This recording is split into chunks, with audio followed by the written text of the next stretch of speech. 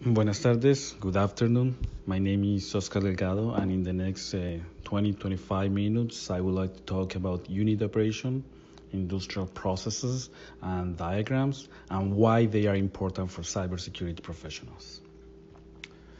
Who am I? I am a chemical engineer. I have been working in different industries, including oil and gas, mining, and water and wastewater treatment plants in the past 13 years. Most of my industrial experience is related with oil processing plants like refineries, central processing facilities, CPFs, and petrochemical plants. So, most of the time I work either as process engineer or project engineer. So it means that I was involved in, with the design of the plant itself or with the integration of projects related with the plant. I like programming a lot, and since 2015 or so, I started diving into cybersecurity, including pen testing, blue and purple teaming, and nowadays ICS security. So, the plans for today's presentation is uh, to talk first about the importance of all of this. I want to give you some arguments about why you want to spend time studying processes then I will show one process to analyze by using unit operations. I will explain unit operations and the associated equipment. And finally, I will talk about a process diagram. Why is this important? Yeah, so why on earth do you want to know about unit operations or the process? You have several responsibilities, yet here I am asking you to understand the process. Why? The short answer is communication. So the management team and the operating team normally don't care about networks, routers, historians, segmentation, etc. Sometimes they don't even care about threats or adversaries. They care about business and the products. So if you work for a water treatment plant, your operation teams is focused on producing clean water. If you work in a refinery, they look the on producing fuels, and that's it. And you should be able to understand the core business and talk with them and understanding what they are doing and how. So, if you say uh, an attacker might modify the PLC logic, that sounds scary, but probably is not the worst fear. But if you tell them that A, B, or C equipment can be disabled by the attacker and therefore the production will be affected, I guarantee they will listen. So at this point, I would like to recommend a talk from Patrick Miller about executive communication and risk management. He provides a lot of strategies and tools to communicate with your management team, including, of course, knowing your business. And know that you don't need to know and understand the intrinsic details like, okay, the type of catalyst or the density of certain fluid. That's part of the process engineering job that is not job. But should you should be able to understand the whole picture. Unit operations is the concept i've used for this analysis but you can look for other tools. At the end the important goal is that you can describe what the plant does and how. The second answer to this question is to make better decisions. And i'm thinking here about priorities and risk assessment I remember in the past a discussion I had about the risk of certain transmitters that have local diagnostics using web protocols. So indeed there was a risk, but the transmitter in question were used for monitoring an almost finished product. So from the operations point of view, any issue with those transmitters, regardless of why, was more a nuance than a risk because they didn't affect the quality nor the actual inventory. So I agree, the operation team will need to go and verify other transmitters and maybe use manual tools while the situation is corrected, but it's not something that requires immediate action.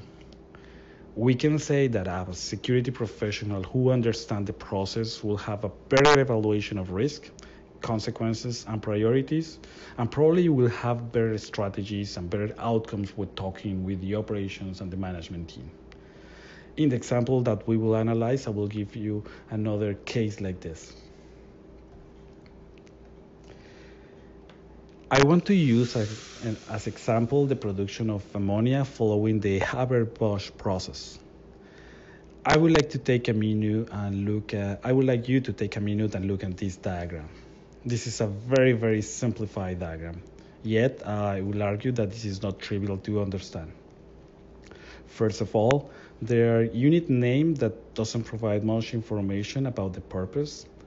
Second, there are some symbols without names, and that makes different difficult to understand like every single step in here. We see some vessels, some heat exchangers, and the general material flow, but uh, I think it will be difficult for you to explain the process just with this information. And in the next slides, we are going to change that. Before we can start analyzing the process, we need to understand unit operations. We need to understand what are they and how they are used. So first of all, they are a concept. So, and this is very important because that means that they are sort of an agreement, they are a convention. So chemical engineers and process engineers decide to group operations based on similarities, and although it, it makes sense, it is completely arbitrary.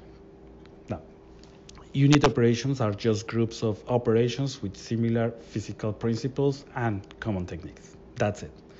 If they behave similar, they are in the same group. The, group, the number of groups is somehow disputed. I will show only four categories, but I have seen models with way more.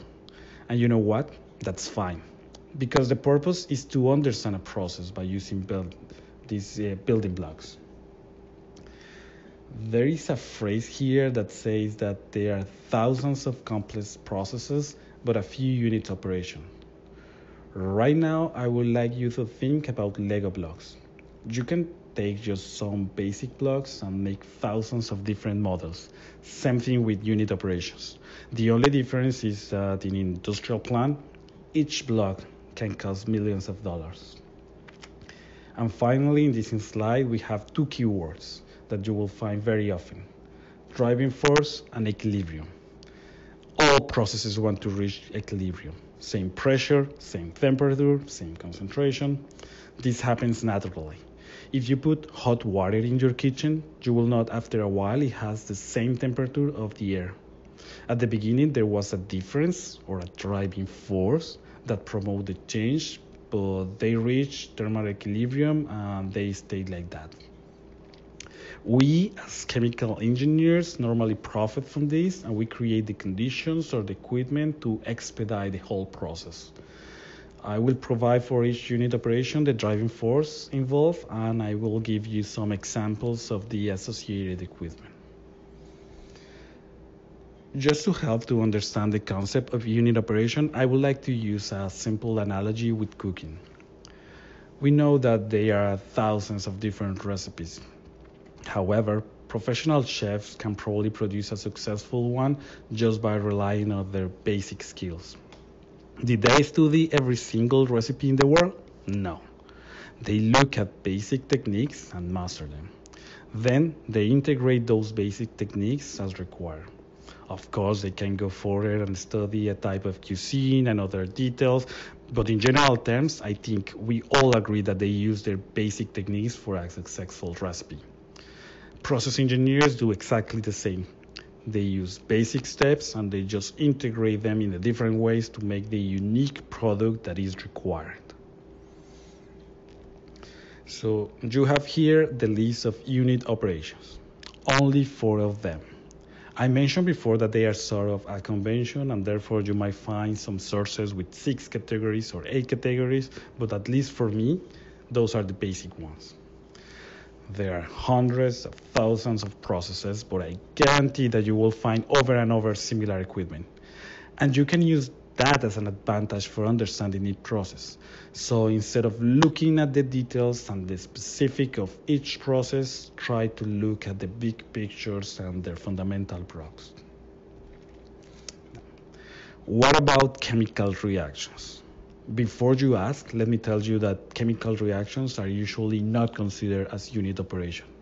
They are very, very, very important, but they have some perks that needs to be addressed differently. So unit operation mostly deals with preparing raw materials and purifying products. In our example, all chemical reactions will be just another block.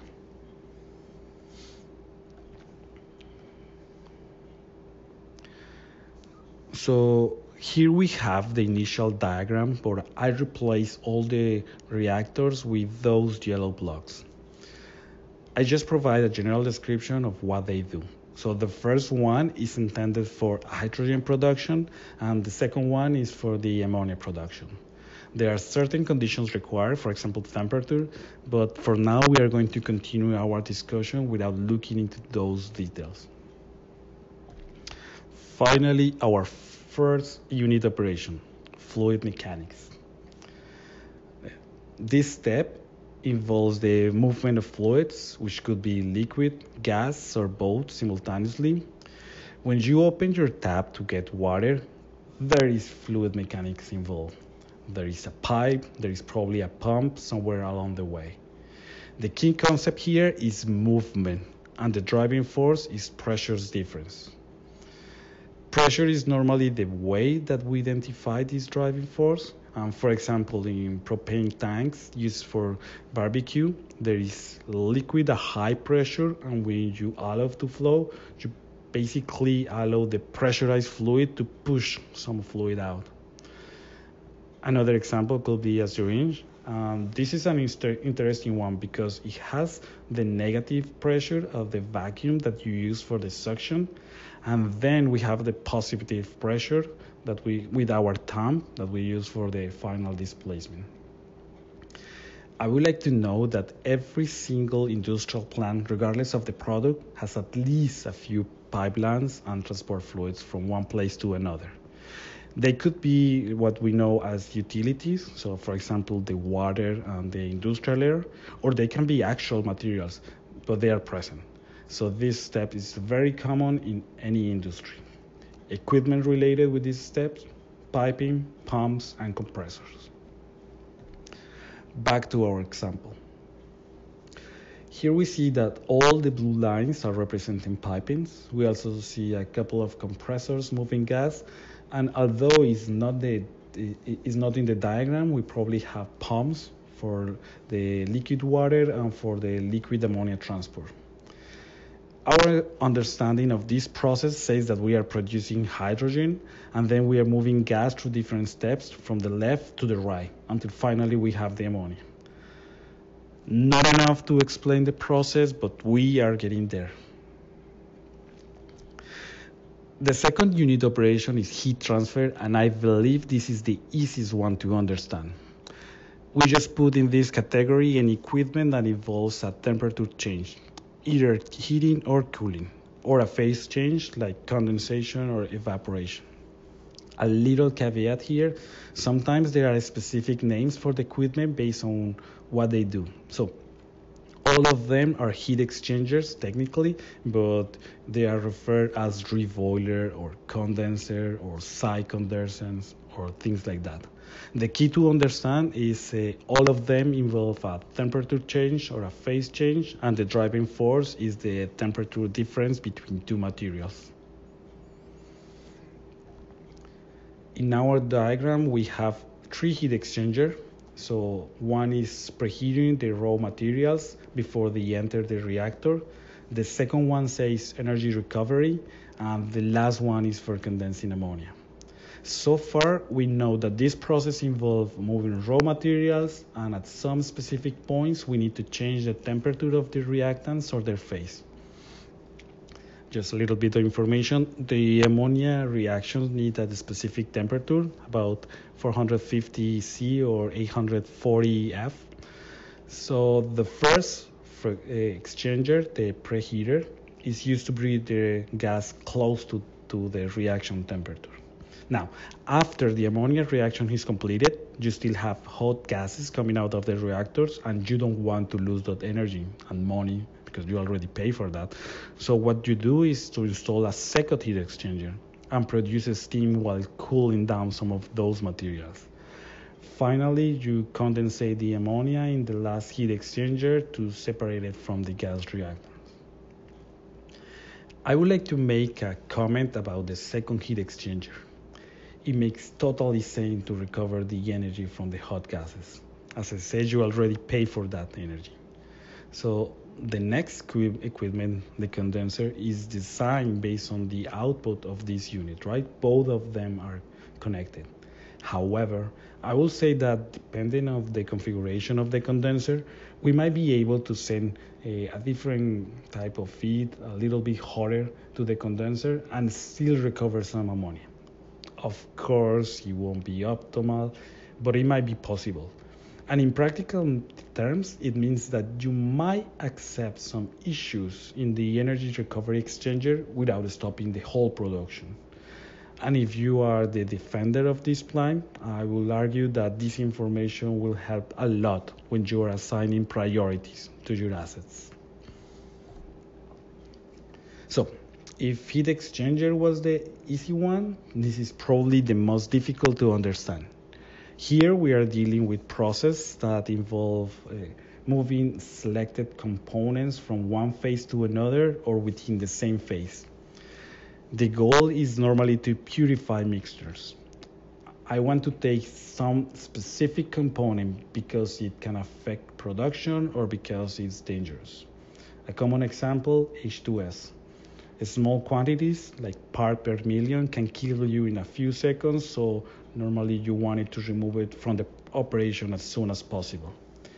The driving force here is concentration, chemical potential, so we want to move a some stream with high concentration to a stream with low concentration. Regarding the equipment, I will say that almost all towers or columns that you will see in a process, like the distillation columns or the absorption columns, are part of this group. As I said, this is probably the most difficult concept to understand, so I want to give you some day-to-day -day examples of mass transfer. You're probably familiar with these cases, but you don't use the term mass transfer. First, when we lit the candle or we, we cook something, we normally can smell the fragrance from, from a different room. So the, uh, the aromas are moving from high concentrated region to a less concentrated region. Same will happen if you put a few drops of dye in water or when you put sugar in your coffee, but instead of stirring, you just wait. At the end, they all reach equilibrium. Uh, one interesting example is making sauce. When you are reducing a sauce, you are actually transferring water from the sauce, from the liquid phase, to the air. That's mass transfer as well.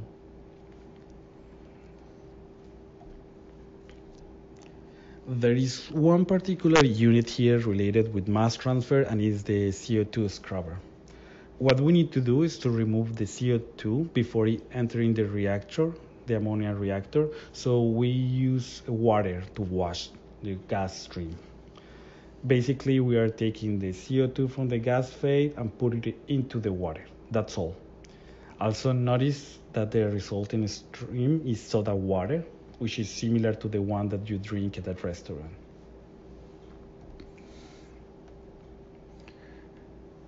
Solid operations, anything that involves solids is included here.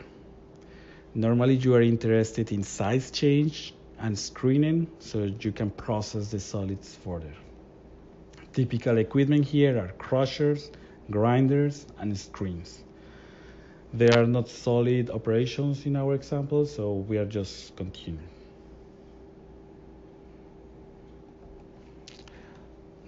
So we started here with this very simplified diagram and we see a lot of units, some streams, some names, but I will argue this is not the diagram we want to use when explaining ammonia production to someone else. Then we use the concept of unit operation to understand what's going on and we ended here. We see that on the left side we have the raw materials entering a reactor to produce hydrogen. We see that we produce CO2 as well. Uh, we want to send all those gases to another unit that removes CO2 by using water. The remaining gases, the reactants that we call, are heated before they enter the ammonia reactor. We produce ammonia and then we recover energy from the hot gases. Finally, we separate ammonia by condensation, sending the reactants back to the reactor. There are three zones in this diagram. First one is hydrogen production and purification. It encompasses everything until the green block. After that, we have the second zone, which is the ammonia production, and the final zone is the ammonia purification. I will argue at this point that even if the previous diagram was very simple, this one is way more accessible and easier to understand. And you know what? Other people thought the same. They even gave it a name. Block flow diagram or BFD.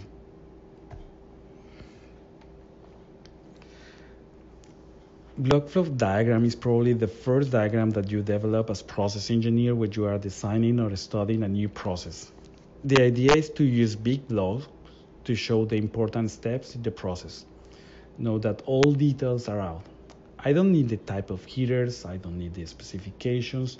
I just need to know that there is a temperature change or a phase change after or before certain step.